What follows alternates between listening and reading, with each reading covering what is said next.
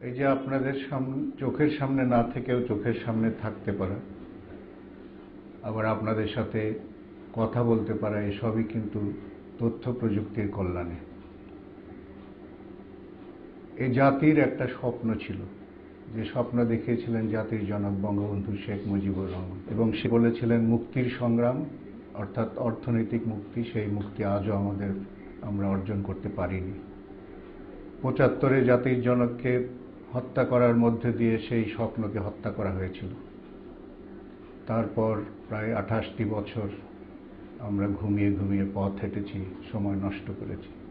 আমাদের চোখের সামনে কোনো স্বপ্ন ছিল না। এবার জাতির জনকের কন্যা এবং বঙ্গবন্ধুর কন্যা, জননেত্রী শেখ হাসিনা, সেই স্বপ্নকে আবার জাতির সামনে তুলে ধরে বাস্তবায়নের পথে আগ- আগানোর দৃঢ় প্রতিজ্ঞা নিয়েছেন, যেটাকে উনি বলেন ভিশন টোয়েন্টি টোয়েন্টি ওয়ান সেই সোনার বাংলা গড়ার জন্য এখন আমরা তথ্য প্রযুক্তিকে কাজে লাগাতে চাই। কিন্তু প্রশ্ন হচ্ছে যে তথ্য প্রযুক্তি কি কেবলমাত্র জাতির একটি অংশের মধ্যেই সীমাবদ্ধ থাকবে? জাতির জনকের কন্যা বঙ্গবন্ধু শেখ মুজিবুর রহমানের কন্যা, যার উন্নয়ন দর্শনই হচ্ছে পিছিয়ে পড়া মানুষগুলোকে সবচেয়ে বেশি সাহায্য করে মূল স্রোতে টেনে আনা। এবং সেই জায়গায় আমি বলব তথ্য প্রযুক্তির একটা বড় রোল প্লে করার আছে। এবং সেখানেও আমরা বলি, প্রযুক্তি প্রগতির পথ বলে গণ্য। প্রযুক্তি প্রগতির পথ বলে গণ্য। ডিজিটাল বাংলাদেশ হবে সকলের জন্য। এর মাঝে আমরা প্রায় একটি বছর অনেকটুকু আগিয়েছি বলে আমরা মনে করি। দু সনে আমরা আইসিটি পলিসি তৈরি করেছি এবং যেখানে আমাদের দশটা মূল উদ্দেশ্য এবং প্রত্যেকটা মন্ত্রণালয়কে আমরা তাদের কাজগুলো ভাগ করে দিয়েছি। বর্তমানে তাদের আঠারো মাসে কি করণীয়, মধ্য সময়ে কি করণীয় এবং দূর সময়ে কি করণীয় এগুলো আমরা স্পেল আউট করেছি। তিনশো ছয়টা অ্যাকশন প্ল্যান আমরা তৈরি করে দিয়েছি। এই আপনাদের যে ট্রেনিং হলো এবং আপনাদের যে প্রশিক্ষণ আমরা কমপ্লিট করতে পেরেছি এগুলোও কিন্তু এই পলিসিরই পার্ট। সেই হিসাবে আমি বলব যে আমাদের এই এক বছরে আমরা যতটুকু আগিয়েছি, সেটা কিন্তু সাধারণ মানুষকে ধরেই আমরা মূলত আগানোর চেষ্টা করেছি। যেমন ধরুন আপনারা এর আগে সুগার মিলে আপনার যে পারচেজ অর্ডারগুলো দেওয়া হতো, যেটাকে আমরা পুরজি বলতাম আগে, সেই পুরজি পাওয়া এবং সেই আখ জমা দেওয়া পর্যন্ত বিশাল একটা বড় সময় আপনার এই গ্রামের আখ চাষিদের নষ্ট করতে হতো। সেটাকে এখন এস এম এস এর মধ্যে দিয়ে কিন্তু আমরা সলভ করতে পেরেছি। যেটাকে আমি কবিতা করে বলি, মিলের গেটে আখ চাষিদের লাইন ধরা শেষ, মিলের গেটে আখ চাষিদের লাইন ধরা শেষ পুরজি এখন এস এম এস বদলে যাচ্ছে দেশ। দেশ এভাবেই বদলাবে। এবং সাধারণ মানুষই আপনি, আমরা মনে করি সবচেয়ে বেশি সেই বদলানোর কাজটুকু করবে তাদের জীবনের পরিবর্তন ঘটিয়ে। আপনারা জানেন, এরই মাঝে সমাজে একটা, আমি তো বলি একটা নাড়া পড়েছে। অর্থাৎ সারা সমাজে এই প্রযুক্তি নিয়ে আগানোর যে আপ্রাণ চেষ্টা, তার প্রতিফলন হওয়া শুরু করেছে। যেমন আমরা কিছুদিন আগেও আমাদের ছাত্রদের ভর্তি হওয়ার জন্য রেজিস্ট্রেশন যেটা শাহজালাল ইউনিভার্সিটি শুরু করেছে, এবং তাদের পরীক্ষার যে রেজাল্ট সেগুলো কিন্তু এখন এস এম এস করে আমরা পাওয়ার ব্যবস্থা করেছি। যেটাকেও আমি কবিতা করে বলি রেজিস্ট্রেশন রেজাল্টটা চাও, করুন এস এম এস রেজিস্ট্রেশন রেজাল্টটা চাও করুন এস এম এস বাঁচলো খরচ, বাঁচলো সময়, এগিয়ে যাচ্ছে দেশ।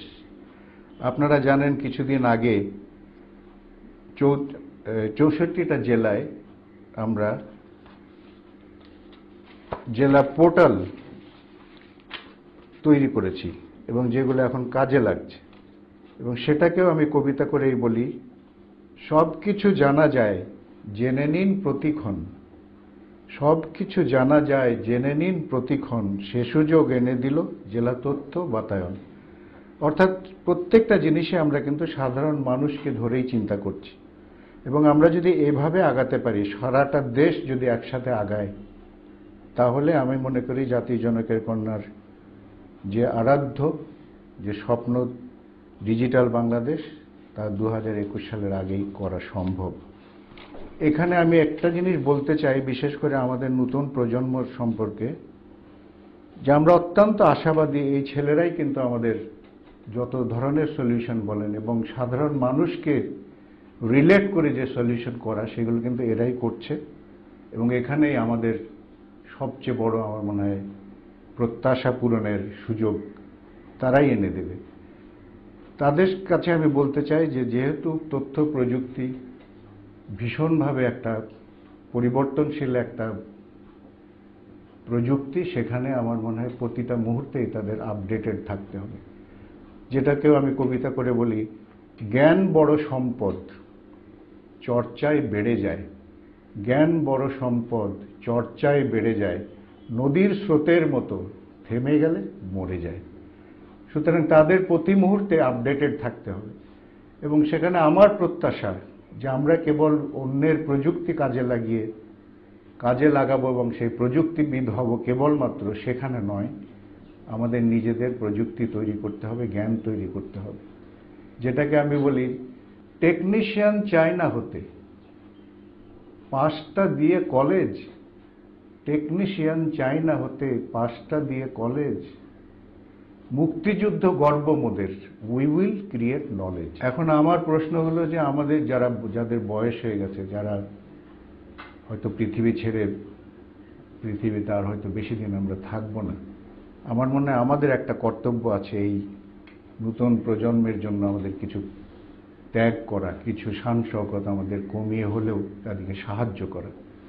যেটাকে আমি আমার নিজেকেই প্রতি মুহূর্তে সাবধান করে বলি শান শওকত আরামায়েশ যখন প্রবল টানে শান শওকত আরামায়েশ যখন প্রবল টানে, আদর্শ যায় মানি ব্যাগে নীতি কবরস্থানে।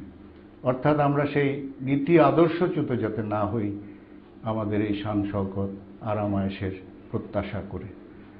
এবং সব শেষে আমি বলতে চাই, প্রতিটি মানুষকেই পৃথিবী ছেড়ে যেতে হবে। আমাদের যাবতীয় বাড়ি, গাড়ি ধন সম্পদ যাই বলুন না কেন, আমরা কিছুই সাথে নিয়ে যেতে পারব না। সেই জন্য এই দরিদ্র দেশটাকে বঙ্গবন্ধুর সেই বঙ্গবন্ধু কন্যার সেই আরাধ্য ডিজিটাল বাংলাদেশ সে পরিণত করার জন্য আসুন আমরা সবাই মিলে কাজ করি। সবশেষেও আমার, আমি নিজেকেই সাবধান করে বলি করির টানটা প্রবল, গতিটা তার রকেট। ভুলেই বসে সব মহাজন, কাফনের নাই পকেট। আপনাদের সবাইকে ধন্যবাদ। জয় বাংলা জয় বঙ্গবন্ধু বাংলাদেশ চিরজীবী।